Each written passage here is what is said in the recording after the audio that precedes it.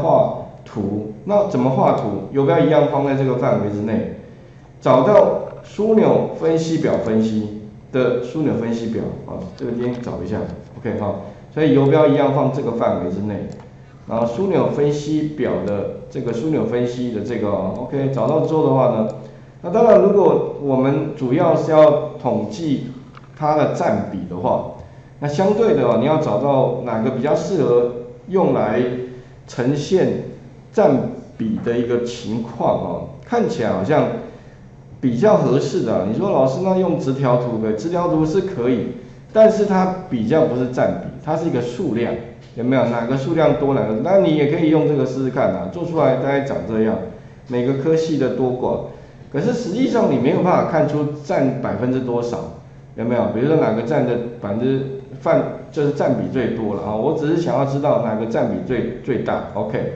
那当然你就比较适合用圆形图。那圆形图的话呢，预设是长这样，OK，好，好按确定就可以了。所以其实圆形图占比有点像一块饼哦，给大家分，那谁分的多谁分的少，其实饼就会自动呈现。音乐系占这么大，有没有？但是这个图有一些缺点，什么缺点？第一个。标题不对，标题的话，请你把它点一下，上面改一下，叫什么？哎，比如说叫做细所呃占比图好了哈，比如说这边改一下。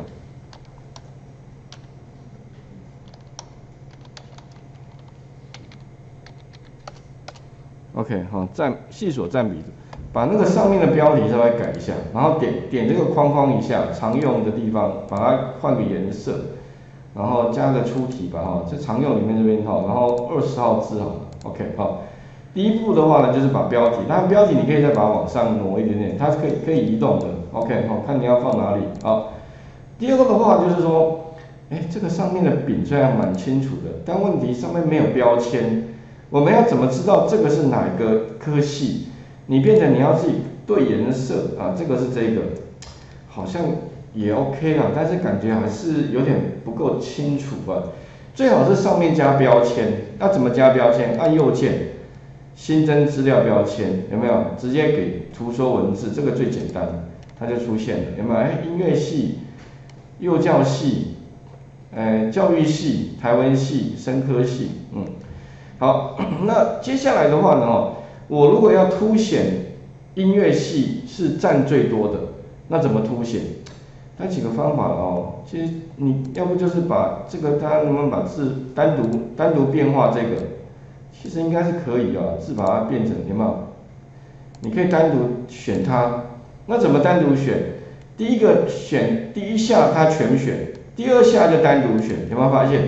哦，然后第三下就是再把它里面的字再把它稍微放大，有没有？这个可以放大一点点。OK，好，那放大到十一。十二号，OK，好，然后把它拉宽一点点，那这个可以把它拉到外面，其实可以的哦，你把它拉外面一点点，有没有这样？哎，比较凸显的。可是你说老师好像还不够凸显，那其实还有一个方法，我比较习惯这样，就是把这一块饼，有没有这一块往外拉？啊，那怎么做？一一样点一下，全部嘛哈。二是选这一块，选音乐系这一块，有没有发现？你就选只有这一块。三的话呢，你就往按住不要放，往外移动。哎，有没有？它有点像那个，这个这个英文名称叫 explosion，就是其实中文翻译叫炸开了。不，这个炸开感觉有点破坏性的感觉。这个应该是有点像什么切开还是什么？嗯，这个很难叙述哎。OK，这个叫什么？这个叫搬开吗？呃，反正就是这个意思哈。那英文意思就是炸开的意思了，好，OK，好了，反正大概这样。那如果你要把它恢复的话，再按住不要放，往外拉就可以了，OK 哈，这样子应该就相对很清楚了。哎，所以我就知道说，哦，原来哈选我的课的占比最多的居然是音乐系，还蛮妙的。居然选这样的 Excel 的这种课程最多的，好像第二是幼教，这个幼幼幼幼家应该是。哎，专门针对幼儿的，然后现在幼儿也要做统计，但是其实行为模式其实也蛮多资料可以统计的，OK，诸如此类的，那你会发现呢，这个就是一个占比图的部分，所以请各位呢先试试看哦，把这个资料把它先做出来。那理论上我大概做几个几个部分的重点哦。一，我是利用这个插入这个枢纽分析图。二的话，我是用这个呃圆形图哈。再来的话，我原型图里面做了几个地方的变化。第一个就是它的这个所谓的标题名称改一下。二的话呢，我是直接在这个上面做所谓的资料标签，我是按右键哈，新增资料标签，你们？目前这这已经做了，所以它它可能就又又呃没不会出现新增。你按右键之后有个新增资料标图说文字哦，记得是图说文字那一个。然后呢，再来就是把图说文字的某一个某一个怎么怎么做，点它是选全部，等于要点两下就对不对？哈，第二下才是点个别，然后第三下就是再去。找到里面的资料，然后你可以拉宽，啊，你也可以怎么样，字把它放大，这个其实都可以放大缩小的，有没有？好，OK。然后再来的话就是把这一块饼有没有，把它拉出来，好，所以点一下是全部，点两下是选个别，再往外拉三下，一二三，有点像那种 tempo，一二三，啊，这样就会出现，好。那最后当然，如果你觉得说，老师，那这这个。这个东西不要的话，你其实这边可以有个加号，有没有？这个叫图例啊，所以你可以把图例打勾取消，图例就不见了，有没有？这个叫图例，啊，你可以从旁边这边有一个加号，可以把它这个东西打勾取消，就是图例部分，OK，好，试试看好不好？那可以先把这个诶简单的图给做出来，不过啦，这个图还是有一个比较大的缺点。这个缺点就是说哈，你说老师那 全部的比例好像有点太多哎，可不可以只帮我留下前五名就好了？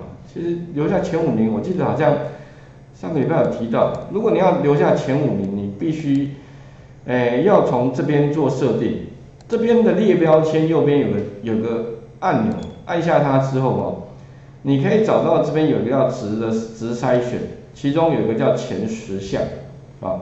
那目前的话是全部的细所都显示，好像蛮多的，总共有几个？总共有，你看，总共有到二十九减三，二十六，二六个科系哈。所以我不要那么多二十六个，我只要五个就好了。那你其实可以从列标签右边这边点一下，找到值筛选里面前十项。你说老师，我只要前五项的话，那没关系，你把这个 最前的。十项哈，改成五就可以了。它预设是十的，不，我们不要十，我们五就好了。按确定，哎，你会发现哈，留下来的话呢，就是呃数量是前五名的。不过你说老师不是就五个吗？为什么这么多？因为数量三的，哇，太多了，所以它其实有重复的啦哈，所以它把三的都全部抓出来，所以等于是。它留下来的好像就十个，啊，不不还好啦，已经比之前好太多。那你可以看到哈，选选课最多的啦，那就马上凸显，我觉得这样更清楚，有没有？OK，马上可以清楚知道说，哦，我选选课里面哪一些科系的同学最多，那我至少有个基本的认了解了哈。OK，那请各位先试一下，把这个图给画出来哈。OK，那画面先还给各位哈。那我们先。下课休息一下，待会再来看哈。